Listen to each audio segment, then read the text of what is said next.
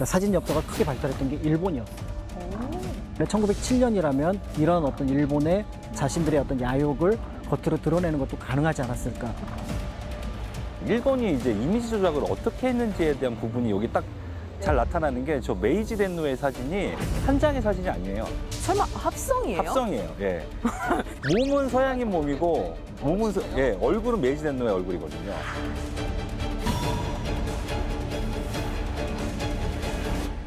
그러니까 이 메시지가 침략의 의도를 노골적으로 드러내면서 우리를 비하하는 그 내용이 여기에 다 담겨 있는 거예요. 뭐 조선의 아이들, 조선의 무슨 풍습, 조선의 사대부. 그러니까 그 엽서를 본 사람들은 아 이게 조선의 모습이구나 이렇게 생각해 버리게 되는 거죠.